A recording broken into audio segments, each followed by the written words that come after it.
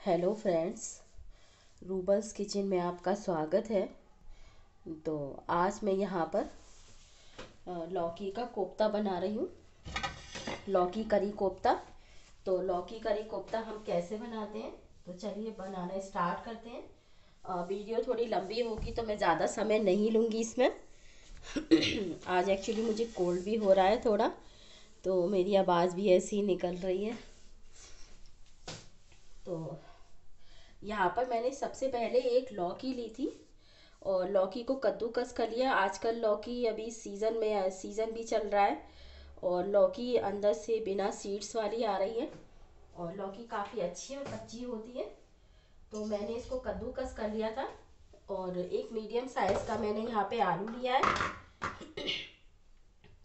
और इसमें थोड़ा सा मैंने पनीर भी ग्रेट किया है। आलू और पनीर दोनों को ग्रेट कर लिया था। और बाकी इसमें मैंने कोई भी मसाला ऐड नहीं किया है। यहाँ पे मैंने थोड़ा सा हरा धनिया और मैं कोई प्यूरी या मैं करी के साथ में धनिया नहीं ऐड करूँगी। मैं सिर्फ़ इसमें कोफ्ते में ही और एक मैंने ग्रीन चिली ली है। अगर आप स्पाइसी खाना पसंद करते हैं तो आप ज़्यादा स्पाइसी इसको बना सकते हैं। आप इसमें हरी मिर्च और ज़्यादा ऐड कर लीजिए, एक से पर मैंने यहाँ पर बच्चे बड़े सबके लिए बनाई है।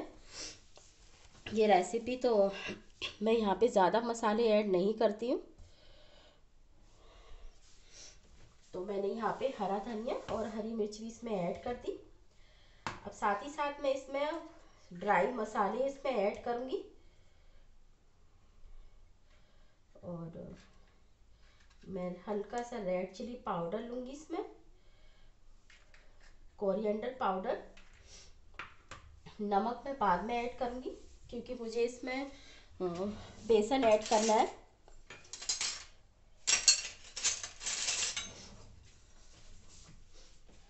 तो मैं यहाँ पर कम से कम बेसन में अपने उसमें मैंने नमक डाल के लौकी को रखा हुआ था।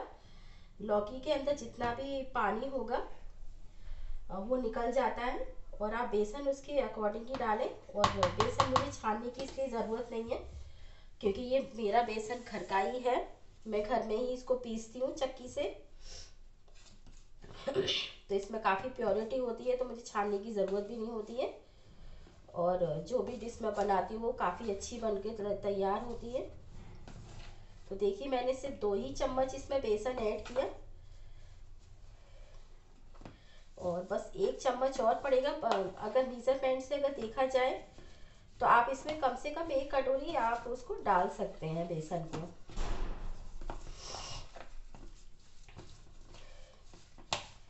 क्योंकि हम कोफ्ता बना रहे हैं तो कोफ्ता में थोड़ा बेसन मतलब ड्राई इंग्रेडिएंट्स ज़्यादा चाहिए होता है। और ज़्यादा भी ना डालें, क्योंकि फिर ज़्यादा डालने से क्या होता है कि वो पकौड़े जो भी कोफ्ते बनते हैं, वो हार्ड हो जाते हैं। और जो भी हम वेजिटेबल कोफ्ता बना रहे हैं, उसका फ्लेवर भी ख़त्म हो जाता है। लौकी के बारे में तो आप जानते ही हैं कि लौकी हमारी हार्ट के लिए अच्छी होती है। और जिनको डायबिटीज़ है, उनको सुबह सुबह मॉर्निंग में इसका जूस पीना चाहिए। और लौकी अगर हम डेली खाने में खाते हैं तो उससे कोई नुकसान भी नहीं होता है। अच्छी होती है ग्रीन वेजिटेबल है। और विटामिन होते हैं, साथ ही साथ इसमें मिनरल्स भी काफ़ी फाइबर होता है।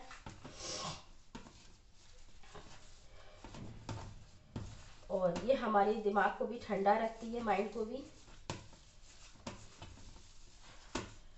जिनका बीपी हाई या ब्लड प्रेशर की प्रॉब्लम है, उनको भी ज़रूर ये इसका लौकी का जूस पीना चाहिए। और ब्लड प्योरीफाई में भी ये काम आता है। लौकी के बारे में तो काफ़ी आपने जाना भी होगा।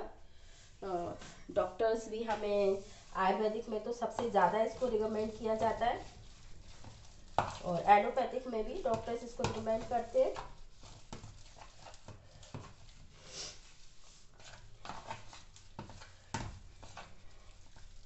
और दूसरा ये है कि वेट लॉस के लिए भी लौकी हमारे लिए अच्छी है।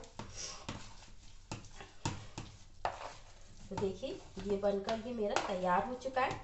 अब इधर मैं कढ़ाई को गरम कर ले रही हूँ। मैं दोनों काम एक साथ करूँगी।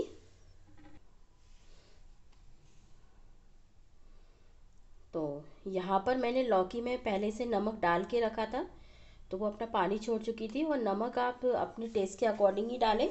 ज़्यादा नमक डालने से क्या होता है कि अगर ग्रेवी में नमक ज़्यादा हो गया और पकौड़े में कम है तो वो बैलेंस बराबर हो जाता है। क्योंकि वो ग्रेवी एब्जॉर्ब करता है तो उसमें ज़्यादा फिर नमक नहीं लगता। तो आप नमक सोच समझ कर ही थोड़ा सा ऐड करें इसमें। दो मैंने इतनी लौकी में बस हाफ़ टी स्पून ही नमक ऐड किया था। इससे ज़्यादा मुझे नमक की इसमें ज़रूरत नहीं है। और जिनको ब्लड प्रेशर हाई रहता है तो उनको तो वैसे भी नमक कम खाना चाहिए।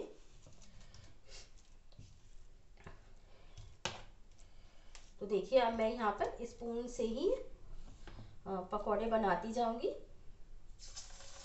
मेरा ऑयल भी गर्म हो चुका है।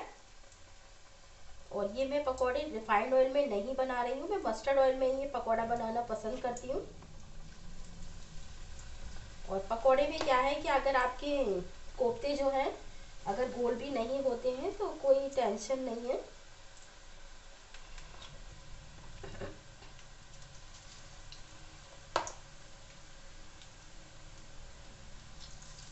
क्योंकि स्पून से तो शेप नहीं आ पाएगी।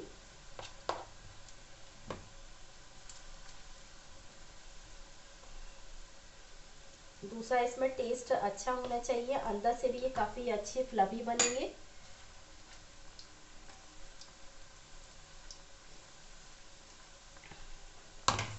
तो देखिए, अब मैं यहाँ पर, ये जब तक मेरे पकौड़े बन रहे हैं तो मैं यहाँ पर अपनी ग्रेवी की तैयारी कर लेती हूँ। तो यहाँ मैंने लिया है दो मीडियम साइज़ में टमाटर और एक प्याज ली है मीडियम साइज़ में। हरी मिर्च ली है दो, और जिंजर लिया है थोड़ा सा और गार्लिक पाँच से छः कलियाँ मैंने गार्लिक की ली हैं। तो सबसे पहले मैंने हाफ़ टी स्पून मैंने ज़ीरा इसमें ऐड किया है एंड हाफ़ टी स्पून हींग,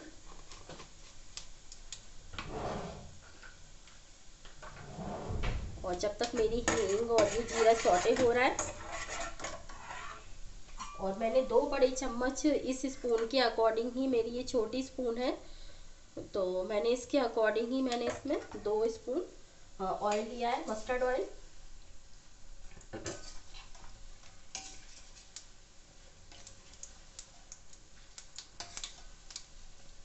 और पकोड़े हाई फ्लेम पे नहीं बनाने हैं। मीडियम हाई फ्लेम पर ही आप पकोड़े बनाएँ।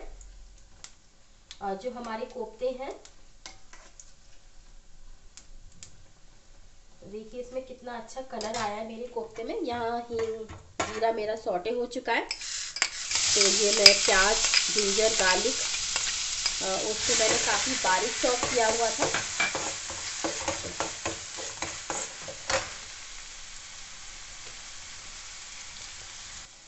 तो देखिए, यहाँ पर मेरा प्याज सॉटे हो चुका है। अब मैं इसमें है ना मैंने दालचीनी दो से तीन मैंने, तीन चार मैंने लौंग ली हैं। और मैंने इसमें लिया हुआ है बड़ी इलायची, एक बड़ी इलायची। तो ये मैं खड़े मसाले इसमें ऐड कर रही हूँ, क्योंकि इसमें खड़े मसाले का टेस्ट अच्छा आता है। और ये दो मीडियम साइज़ के मैंने टमाटर लिए जिनको मैंने बारीक क्रश किया हुआ है।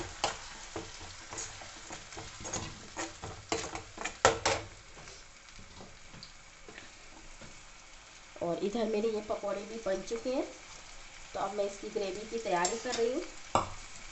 आप देख सकते हैं मेरे कोफ्ते बन गए। तो यहाँ पर मेरे टमाटर भी सोटे हो चुके हैं। और ये देखिए ऑयल भी छोड़ छोड़ चुका है टमाटर। तो अब मैं इसमें मसाले ऐड करूँगी। तो यहाँ वन टीस्पून मैंने टर्मरिक पाउडर वन टीस्पून मैंने रेड चिली पाउडर और ये कश्मीरी लाल मिर्च है। और कोरिएंडर पाउडर और मसाले मेरे ना जले और इसमें ये टमाटर की इसकी प्यूरी का पानी मैंने इसमें ऐड कर दिया है। एक अच्छा सा बॉयल आएगा तब तक। आप देख सकते हैं सब्ज़ी में मेरा कितना अच्छा कलर आया हुआ है।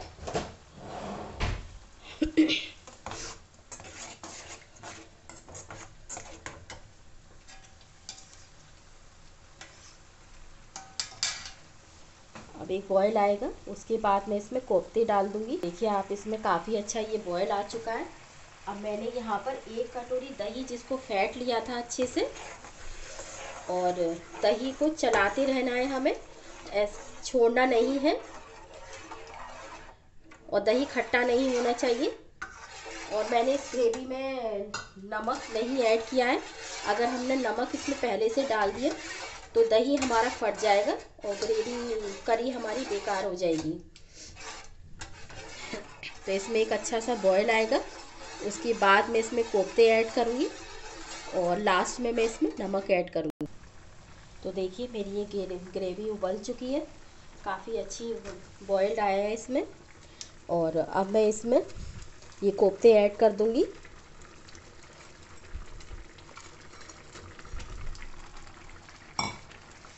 और एक बस अच्छा सा बॉयल आ जाएगा। इसके बाद ही मैं इसको फ्लेम को ऑफ़ कर दूँगी।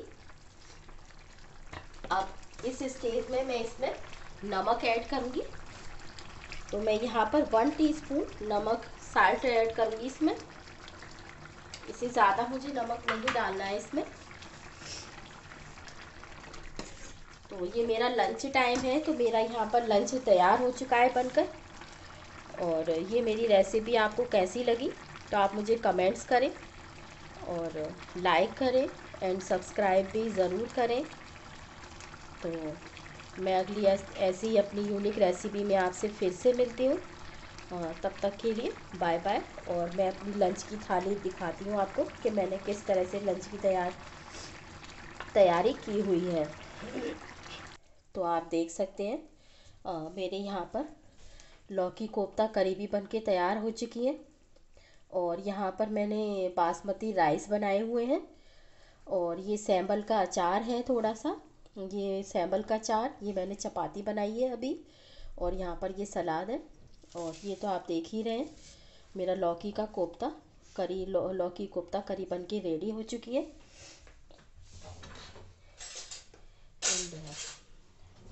मैं आपको इसे कट करके भी दिखाती हूँ कि ये मेरे अंदर से कितने सॉफ्ट बने हैं। आप देख सकते हैं। तुरंत ही मैंने इसमें स्पून लगाई और तुरंत ही टूट चुके हैं।